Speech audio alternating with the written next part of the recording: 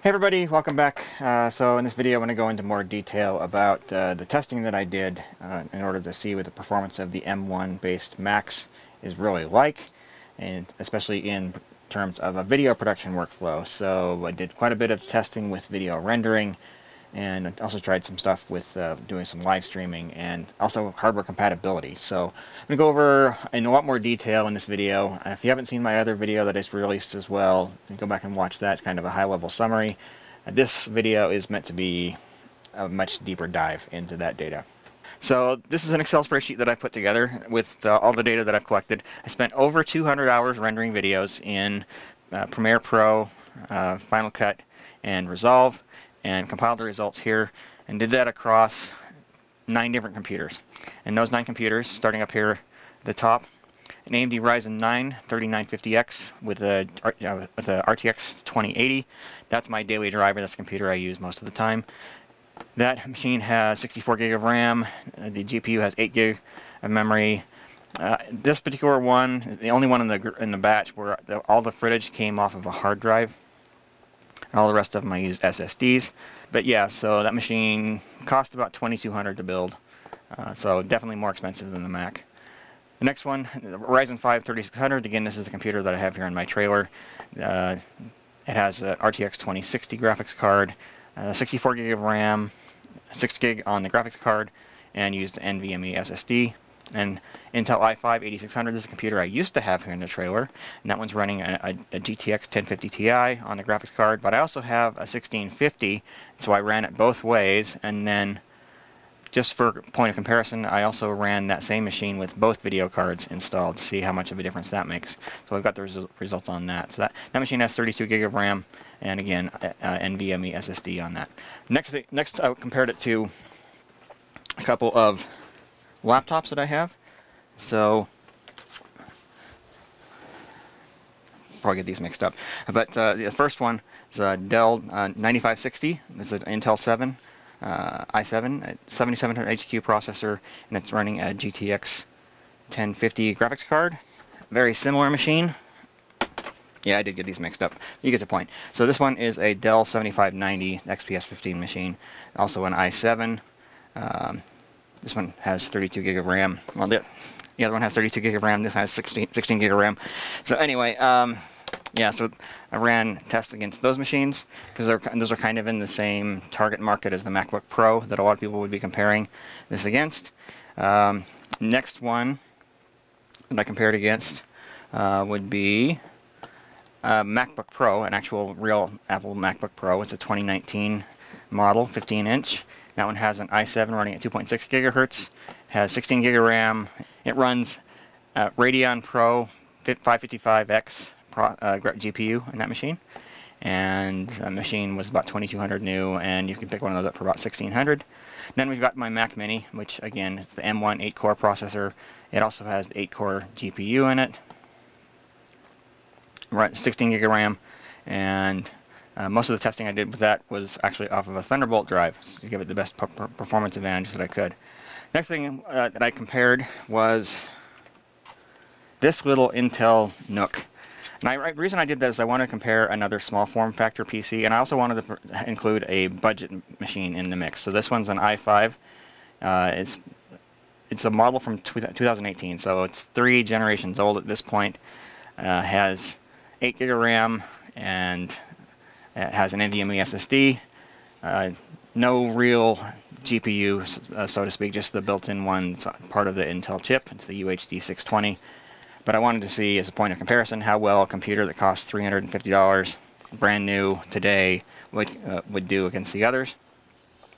And then I also want to mention that I included my old 2012 MacBook Pro, the very first Retina machine that came out in this in this comparison. So anybody who's running a machine that's roughly that age, uh, you get a kind of an idea for how well the M1 performs compared to that. For informational purposes, this is the Mac Mini M1. It's a, I got the version that has 16 gig of RAM and 256 gig of SSD storage. And for anything video related, you really need 16 gig. The 8 gig model just isn't going to cut it. Uh, ideally more, 32 would be even better, especially if you're running something like After Effects or Apple Motion. You really need that additional memory for those products. Premiere and Resolve and Final Cut can get by with a little bit less memory. They don't do any aggressive caching with any of the footage that you're editing. But uh, yeah, so it's always a good idea to have have more than the 8 gigs that these machines come with in their base models. Uh, you really need, you really need that for these these these software applications to be able to perform well. In terms of the version of the software that I used, I started doing testing with uh, the version of uh, Adobe Premiere and After Effects that was available on February 18th, and then I updated it. I updated it recently. Uh, I left it on the same version for for the most for the majority of my testing, and then I just updated it last week, and I reran some of the more tough render files to see if the newer versions perform any better, and as of right now, they do not. So, performance in the latest beta that's uh, available in term available at the time of re I'm recording this on April what's the 26th uh, it's exactly identical to the performance that I got when I did the majority of this testing in late February, so things have not improved there. Hopefully they will improve in the future because right now the performance is just not that amazing on the M1 for doing video rendering. Um, so I also tested against uh, similar similar projects in DaVinci Resolve and uh, Final Cut Pro as much as I could, but there was something lost in each one of the imports. There's no direct path from Adobe Premiere into Final Cut Pro. You have to go through something else. I use Resolve as, as my go-between between for those in order to generate, because the XML files that Premiere creates are not compatible with Final Cut Pro 10, and so you have to go through Resolve. And each one of those steps, there's a fair amount of stuff that's lost, much more so going from Resolve to Final Cut than going from Premiere into Resolve.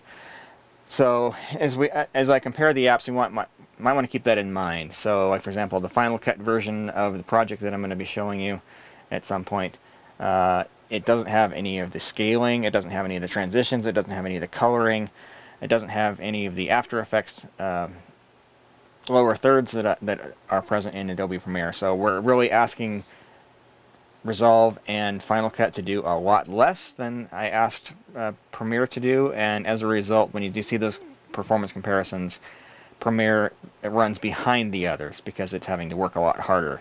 Uh, unfortunately, there's just no easy way to pull all that stuff over, and short of recreating the entire pro recreating entire project from scratch in all three, that's really the best that I could do. So, with that caveat, uh, let's actually kind of take a look at some of the performance numbers for uh, some of these projects. So I'm going to start out by showing you the actual projects themselves. So I'm going to start here. This is what I call my Shinobi render test. So I did a video a little while ago here on my channel where I tested the Shinobi SDI from Atomos and instead of using the actual project on that one, I used just the raw footage. I wanted to have something that was very, very simple. This is basically a transcoding test. So how well does each one of these applications do in terms of transcoding from the ProRes footage that we start I started out with into other formats. So for each one of the renders, and this is true across the board, I rendered into H.264, I rendered into HEVC, and I rendered into ProRes. And uh, very quickly, let me show you some of the presets that I used for that. So in terms of H.264, I used the YouTube 2160p 4K Ultra HD preset. Uh, all the footage that I used was Ultra HD, the overwhelming majority at 29.97 frames per second. Um, two exceptions. Uh, I'll get to those. Uh, I'll talk about those when I get when I get to that particular project. But everything else was Ultra HD 29.97 frames per second. So so uh, on H.264 on the export, I used the YouTube 2160p 4K Ultra HD preset and I didn't change any other settings. So I, just the default setting that, that, it came with. In terms of HEVC, uh, I used the 4K UHD preset and again didn't make any other changes. And again, this is across the board. Both Mac and PC use the exact same settings. For ProRes, I use the QuickTime and then the ProRes 422 preset. So every one of the videos, again, use that same preset. So and that's that was universal not only through Premiere, uh, but also in After Effects. And then once I got to DaVinci Resolve and Final Cut Pro, I tried to approximate the same settings in there. You have far less control in those apps in terms of the quality of the exports. But I tried the, the best that I could in order to replicate similar file sizes.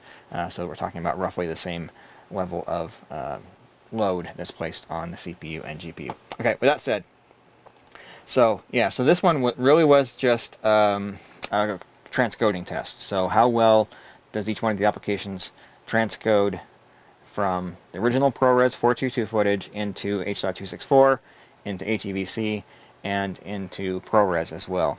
And let's actually take a look at some of those numbers. So this is the Shinobi raw footage transcode test. Got the different computers here on the left. I talk about my the different configurations in my other video, so I'm not going to go over that here again.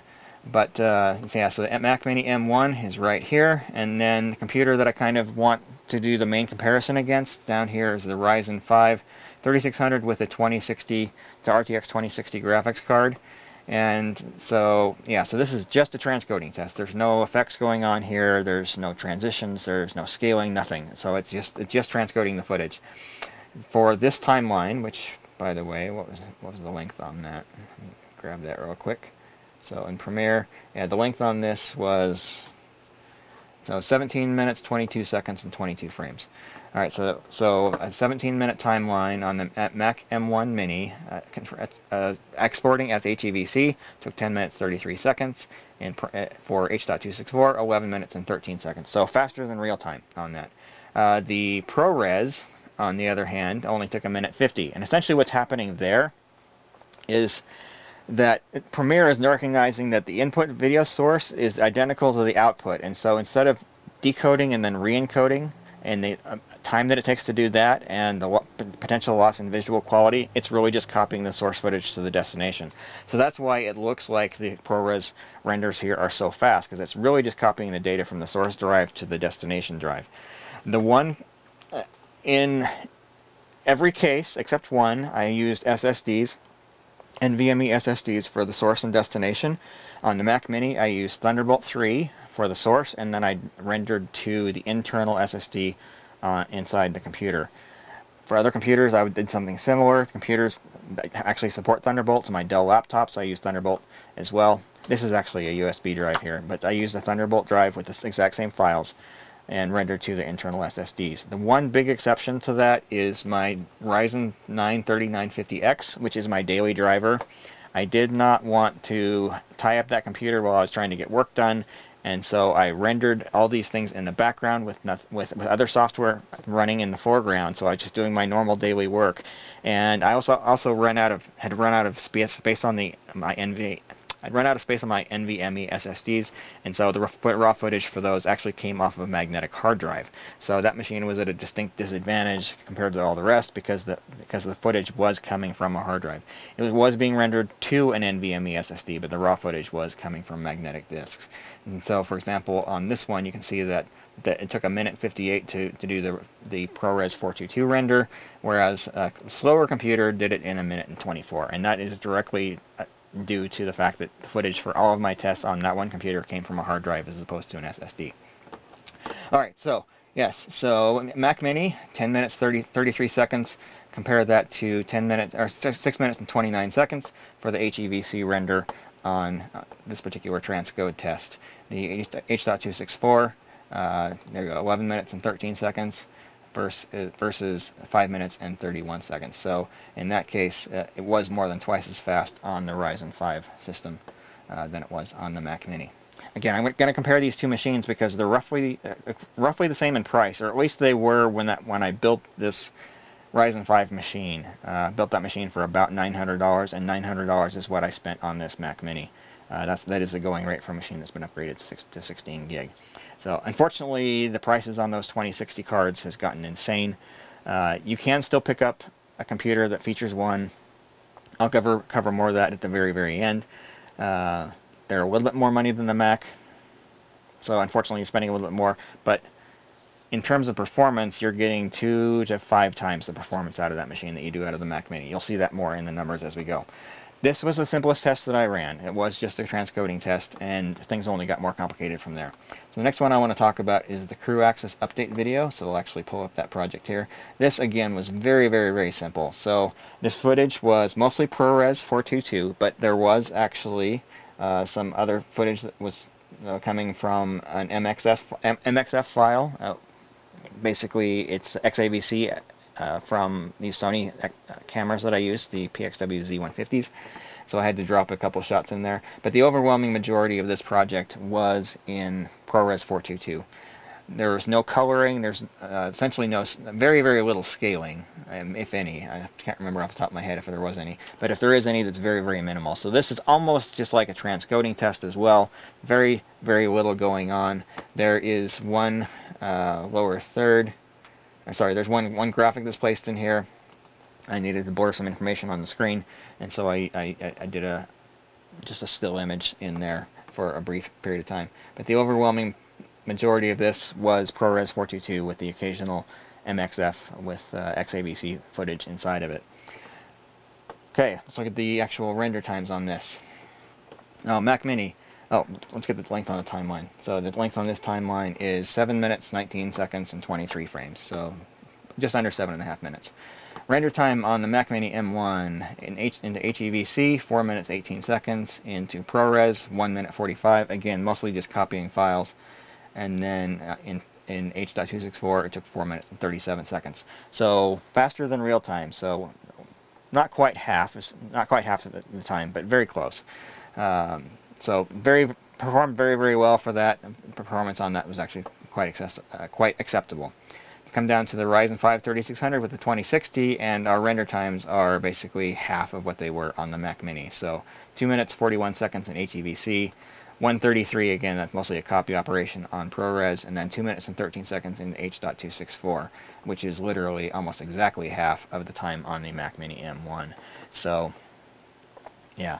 Um, just in terms of comparison, Mac MacBook Pro i7, this is a 2019 model. This is one of the higher end models, 2.6 gigahertz i7, um, 32 gig of RAM on that machine that did the render in 5 minutes 8 seconds for HEVC, took five, uh, 9 minutes and 59 seconds on H.264. So in this case the Mac Mini was actually considerably faster than the MacBook Pro that had an i7 processor in it.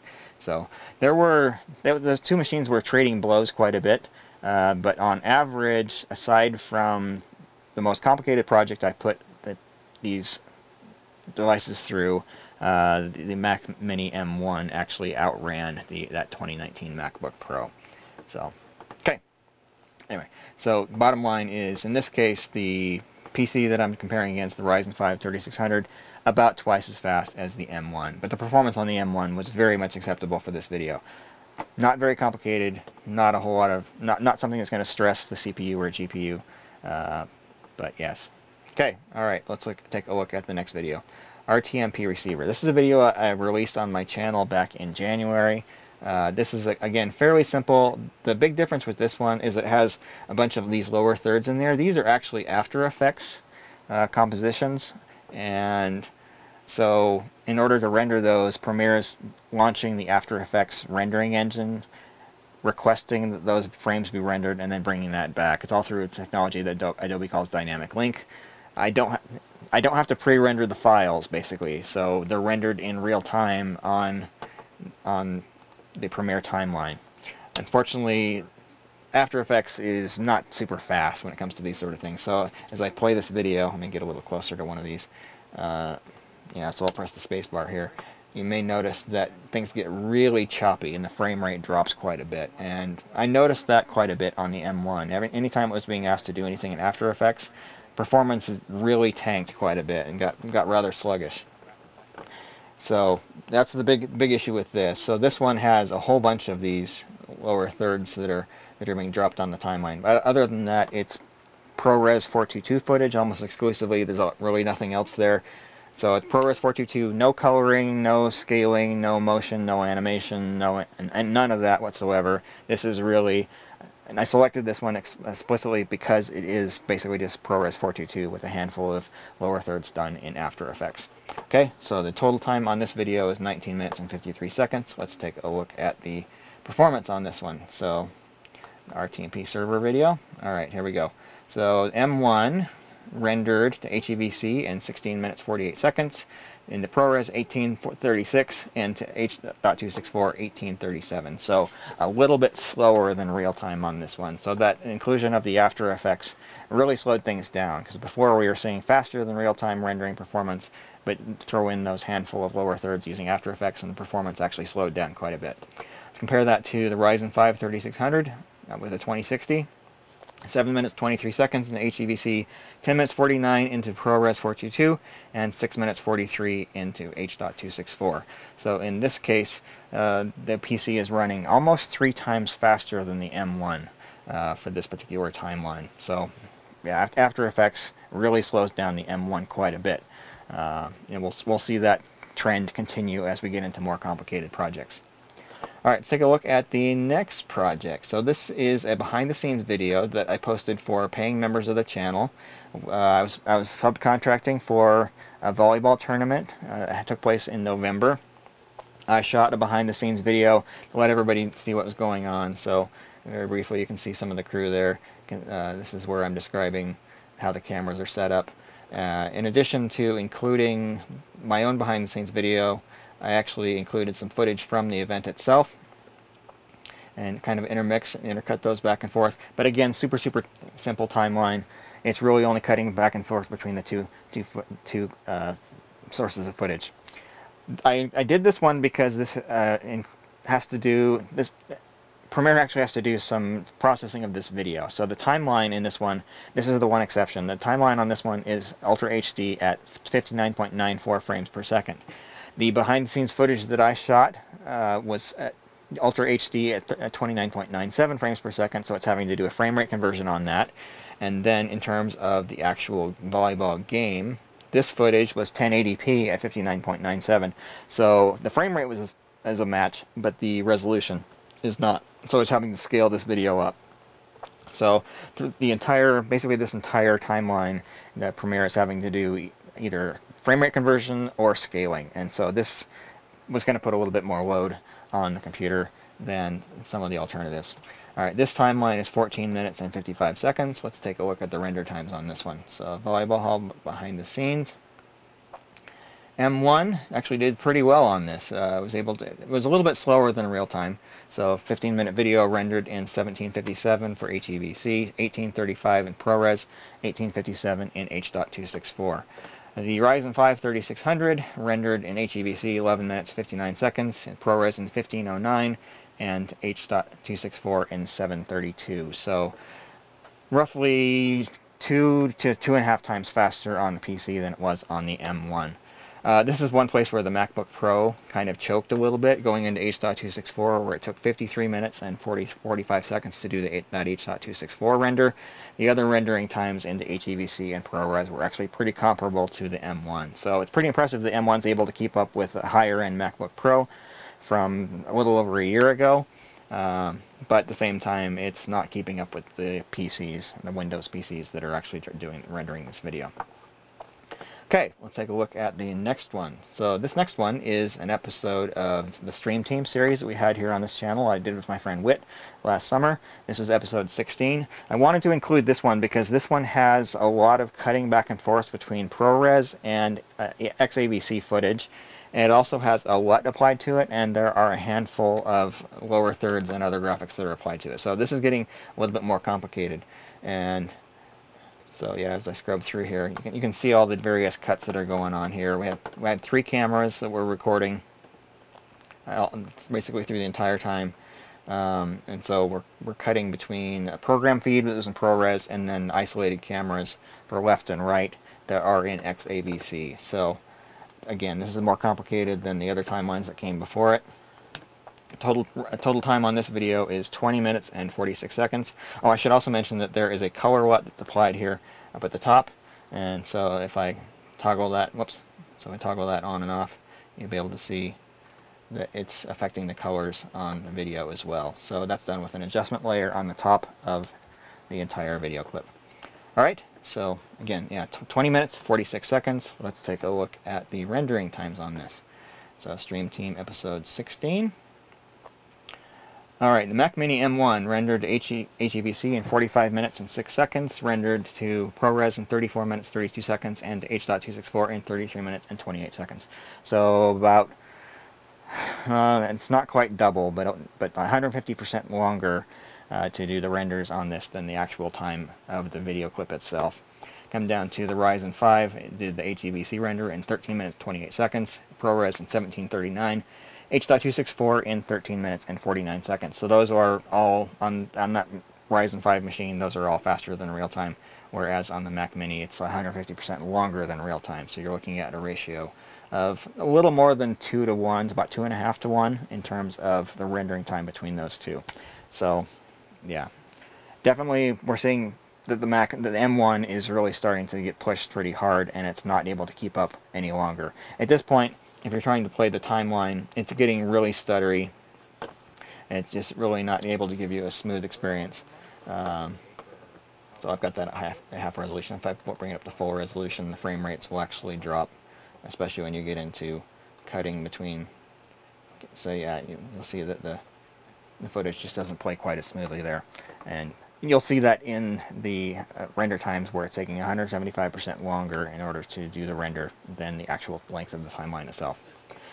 Alright, that's going to bring us to the last, most complicated video that I, that I did for this. So this is the video that I released here back in February on Dante, the Audinate Dante audio over Ethernet protocol. This is by far the most complicated video that I, that I tested, but this is by no stretch of the imagination that complicated compared to a lot of the stuff that people are doing, not just uh, uh, for television or whatever, but also even for YouTube. You find some of these people are doing multiple layers on top of layers on top of layers on top of layers. This one really only has five layers, and most of them are, are mostly empty, so it is cutting back and forth between footage quite a bit. Now, uh, this footage is mostly ProRes 422, there, although there are a handful of situations where we cut over to an XAVC video clip, although that does not happen very often. There is a lot of scaling going on here, though, so as we go to some of these clips, you find that, for, for example, when it goes from here to here, we're jumping in, we're using a scaling effect on the clip in order to basically produce what looks like, it's supposed to look like another shot. That happens a lot through this timeline. There's also a fair, fair number of transitions that are going on, and there is a LUT, color LUT that's being applied to this footage as well. Uh, there are a handful of lower thirds that are taking place here.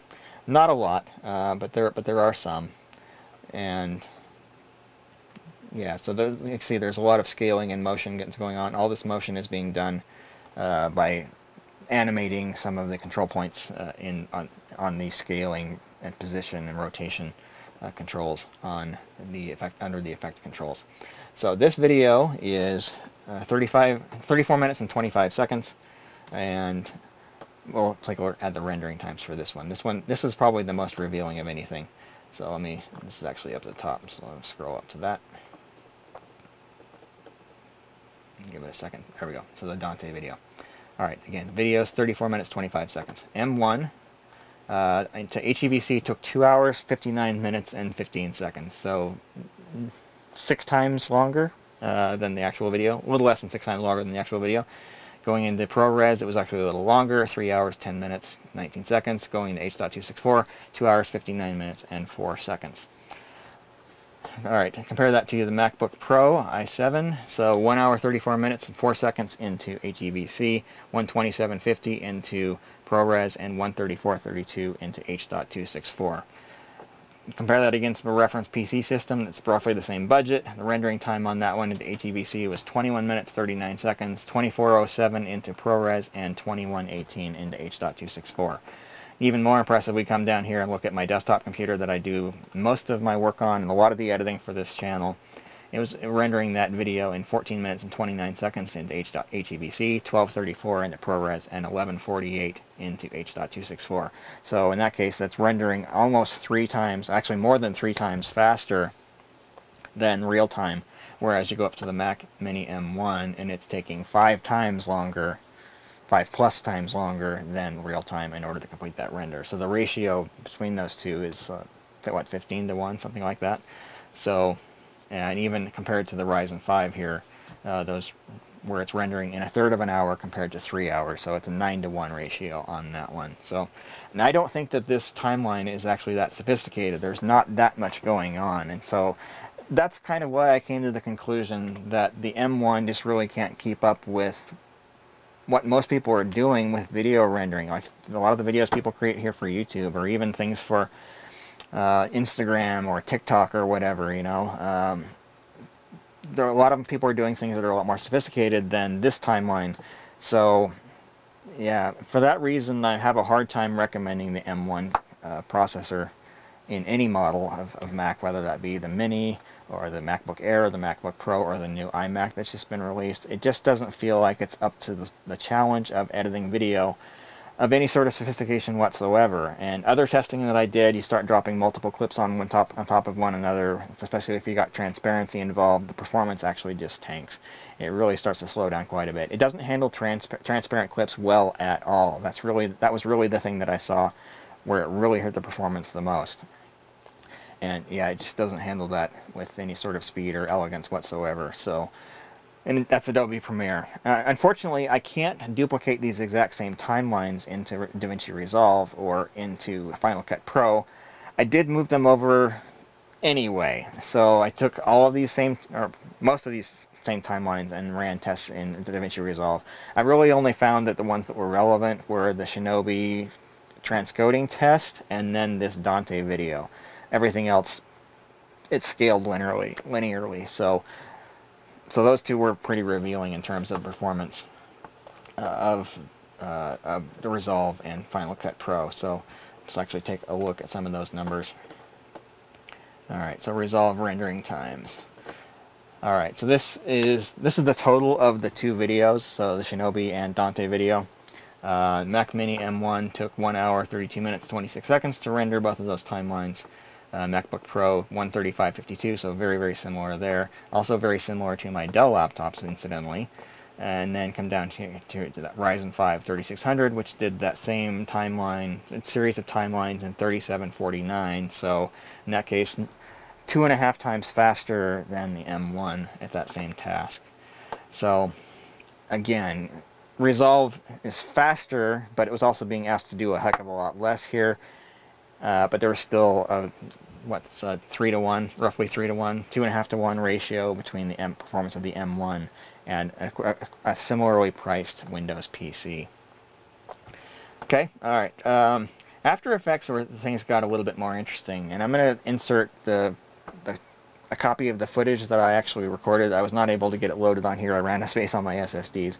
But it basically took uh, nine of my previous YouTube videos and put them in, into a timeline and did the rendering on that. The final video on that I think was about 15 or 20 seconds or something like that, not very long. And the rendering times on that were pretty revealing. I uh, found that across the board, the most of the machines were rendering within fairly similar time. So because like M1 rendered that clip 2 hours 20 minutes 12 seconds. The MacBook Pro did it 2 hours 18 minutes 11 seconds. Uh, my small little Intel NUC computer that I included in my test is kind of a reference point for a, a super cheap computer that you can get pick up very inexpensively, a budget machine. Uh, it did that same timeline in 2 hours 20 minutes 21 minutes and 49 seconds so a machine that costs roughly the, a little more than a third the price of the M1 was able to render After Effects in a similar amount of time. Uh, my Dell 7590 was actually able to do it about a third faster, but my my older XPS 9560 took longer. It's kind of interesting there. Uh, look at our reference reference PC, the AMD Ryzen 5 3600 with a 20, 2600 video card. It was able to do that render in 1 hour 33 minutes and 59 seconds, so about a third faster than the M1. My desktop main main desktop PC did that same render in an hour, 4 minutes, and 33 seconds. Not surprising.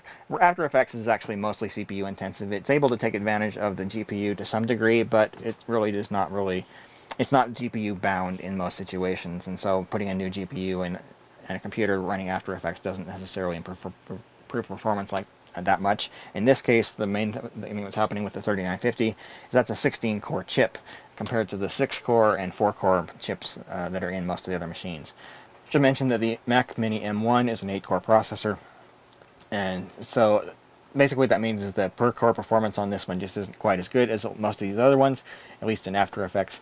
Uh, the, the, Intel NUC uh, machine that I have here is actually a 4-core chip, uh, and it was uh, right on par with the performance of the M1. Uh, so a $350 computer was roughly the, performing the same as a $900 Mac Mini M1. So anyway, so yeah, After Effects was very, very interesting and it, very revealing to me that a little tiny computer was able to keep up with, with these other computers that it cost much, much, much more. Uh, but also finding that the Mac Mini M1 uh, was just not was not performing up to the speed expectations that I would have had for it. Uh, having an 8-core CPU and 8-core GPU, it just uh, doesn't perform as well as I would have hoped. All right, let's take a look at um, comparison between some uh, between the different pieces of software. So this is my Dante video that I showed you a moment ago. Again, this really needs to be I need to I really need to emphasize this that this is not an equal comparison between Premiere, Resolve, and Final Cut. Just because without creating a creating three timelines from scratch, designed explicitly to to compare these, this is not an equal comparison because when I move from Premiere into Resolve, the After Effects clips uh, had to be pre-rendered, and so Resolve was not having to do that After Effects thing, which is really what slows these down, slows these renders down more than anything else. And then moving over into Final Cut Pro, all of the animation, all of the motion, uh, all of the coloring, that all disappeared as well. And so, again, Final Cut Pro was being asked to do the very little, very least. It was really just cutting between between clips, and that's about it. Whereas in Premiere, it was having to do all the coloring and animation and uh, After Effects composition and whatnot. So that's why there's such a, a huge uh, difference in the performance between these. So anyway, Mac Mini M1, 2 hours 59 seconds and 4 two, 2 hours 59 minutes and 4 seconds in order to render the Adobe Premiere and it was able to do the DaVinci Resolve in 23 minutes and 27 seconds, and then Final Cut Pro took 30 minutes and 15 seconds. So even though Final Cut was being asked to do the least, it had the lightest load, it was actually still taking longer than Resolve. Um, again, it's really hard to do a comparison against Premiere Pro because it was really having to work a lot harder than the others. Take a look at the AMD Ryzen 5 3600. Um, Final Cut Pro is not not something that runs on Windows, so we only have, only have Premiere Pro and Resolve numbers. So the Premiere Pro took 21 minutes 18 seconds, and the DaVinci, DaVinci Resolve render took 11:45. Again, Resolve was not having to do the After Effects rendering on that, so it's not really what I would call a fair comparison. Although we compare, come down here, look at the Ryzen 9 30, 3950, and the rendering time between Premiere Pro and Resolve was actually very, very close. It was only a little over 30 seconds difference between the two. And for rendering a 35 minute timeline with that complexity and having After Effects clips in there, performance on that machine while doing that timeline in 1148 is very, very impressive. So, yes. Now let's take a look at the same thing, basically, and then rendering into HEVC. So, yeah, Mac Mini, 2 hours 59 seconds, 2 hours 59 minutes and 15 seconds for, for Adobe Premiere Pro, and 21 minutes 40 seconds for DaVinci Resolve. Uh, Final Cut Pro does not do HEVC, so it was left out of this test. The uh, Mac Mini from 2019 did the Premiere Pro render in 13404 and the DaVinci Resolve in 2612. AMD Ryzen 5 3600, our reference PC, did the render in 2139 in Premiere Pro and 1315 in DaVinci Resolve. So quite a bit faster on the Adobe Premiere and about a a third faster compared to the M1 uh, in DaVinci Resolve. And I kind of saw that same same sort of relationship for most of the stuff that I was testing, where the PC was outrunning the Mac in Resolve by about 50%. Alright, and then uh, basically the same thing again in ProRes. Um, Pro, Pro, uh, DaVinci Resolve on Windows cannot output ProRes, therefore there's only uh, two DaVinci Resolve numbers, and it also crashed on my original 2012 MacBook Pro, so there's no numbers on that. I, oh, I should also mention that uh, Final Cut Pro, even though there's some numbers here, it actually crashed pretty, every time I ran this test. Every time I asked Final Cut Pro to, to render to ProRes, it, it would it would not complete the render. And so the numbers I have in there are estimates. I would let the render go as long as it possibly could, get the time on that, look at the percentage that was completed, and then extrapolate out there what would have been the final render time, at least approximate. But again, it's strange, all Apple software, Final Cut Pro and uh, ProRes, but uh, yeah, those those timelines would not complete in Final Cut Pro, so those numbers here are very much approximate. In terms of comparison between Premiere Pro, we've got the M1 taking 3 hours, 10 minutes, 19 seconds. The um, 2019 MacBook Pro taking 1 hour, 27 minutes, 50 seconds. The Ryzen 5 3600 taking 24 minutes and 7 seconds. So a very, very wide difference between those on that render time. And then I should mention that the Ryzen 9 3950X did was able to do that same thing in 12 minutes and 34 seconds. So vastly faster than pretty much everything else that, that, that took place here. So. Alright, um, so I think that's actually going to about do it for the numbers. I'm going to make these, make this spreadsheet available for anybody who wants to really dig in. There's a lot, a lot of numbers here that are not represented in some of the charts that I've shown you. Uh, you, can, you can see a lot more of what's going on, a lot more detail. So uh, I'll make that available at djp.li slash uh, m1 performance, and you'll be able to download that for yourself. Uh, if anybody actually wants to run these tests for their own, I would ha be happy to make that stuff available. It's a lot of footage though. Uh, I've got a 2 terabyte SSD here and, and, that doesn't even hold all of it. Uh, I think it would probably take a 3 terabyte or 4 terabyte drive in order to hold all this footage. So if it's something you really want to do, get in touch with me, contact me, and uh, send me a drive that would be able to hold all this footage, and then I'll make make arrangements for you to be able to run these tests on your own. Uh, I'd be happy to do that. Like I'd also be happy to see other anybody else who wants to run these on other configurations of computers in order to see what relative performance on those as well. So um, anyway, and aside from the video production, the performance on M1 is actually pretty impressive. It's, it feels very, very snappy for the most part, for most applications, especially those that have been released by Apple. When you start to get into third-party applications, the performance isn't quite as good, but then again, they haven't had time to optimize for that for this particular chip. Um, power draw, I didn't explicitly measure it, but I noticed that this machine barely gets warm at all. There's barely any heat coming out, even when I'm doing render. It, does, it certainly does get warmer while it's doing a video render, but it never gets hot. Uh, I don't think I ever heard the fan kick on at any point while I was doing any of this testing. This does, machine does have a fan, but either it didn't kick in or it's so quiet that I never noticed it. So uh, that's certainly a good thing. That's something you're not going to be able to say about a lot of the equivalent Windows PCs, um, at least in the same price range. You're going to have fans on all of those.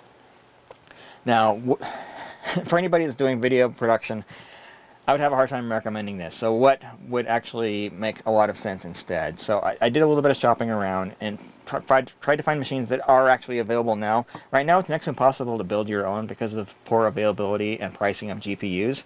Even the 2060, which uh, card was only a little over $200 a year ago, you can't get them anymore unless you're willing to spend well, close to $1,000 at the time I'm, re I'm recording this. The GPU market is absolutely insane right now. And so I would not recommend that anybody buy a GPU at this point in time. If you already have a machine that has it, great. Uh, but the alternative for anybody who really wants to run a computer that's very capable of doing video editing without spending a fortune, I found two that are actually pretty good. So there's a Lenovo Legion i5 that includes a uh, RTX 2060 video card. It's it typically sells for about 950, although right now it seems to be a little bit more. So pricing on that one's a little more 1150 to 1200 at the moment. Um, there is also the Intel NUC uh, Tiger Canyon it's just barely come out. That includes they have a version that includes a 2060 graphics card in it. And pricing on that one is kind of in that $1,200 price range as well. But either one of those machines is going to outrun this Mac Mini by a very significant margin, particularly in Premiere Pro. So if that's your workflow, if you're a Premiere Pro user, and you're thinking about getting a computer right now, targeting machines that are kind of in that range, you're going to get something that's going to outrun anything that's available on the Apple side of things. And that's really a result of the fact that Apple's been uh, in disagreement with NVIDIA for years. So back in 2013, Apple and NVIDIA parted ways, and the performance of the Mac computers for video rendering has really not been that great ever since then having an NVIDIA GPU means that Adobe Premiere is able to offload a huge per percentage of the operations that it's doing onto the GPU, particularly the video encoding into H.264 or H.265. HEVC. Uh, and it actually takes advantage of the GPU for doing some ProRes stuff as well. But being able to offload those those tasks onto the GPU means that you're able to see rendering times that are much faster than the length of the the length of the timeline that you're actually rendering. So again, like my my my Dante video, 35 minute video, and these computers are rendering it in around 12 minutes. So roughly three to one margin there. So you're just not spending any time waiting around for rendering if you've got an NVIDIA GPU. So anybody who's doing video editing, if you want good performance, the only way to really get it is to build a PC that has an NVIDIA GPU in it. So that's just kind of the way things are right now. I'm sure we'll see a lot of improvement in the future with the M1, but I really think that the M1 GPU in here is roughly equivalent in performance to the NVIDIA uh, GTX 1050 that was released basically five years ago, four years ago, somewhere somewhere in that range. And that was a low-end card in its day, and certainly anything that's come out since then is going to be significantly faster.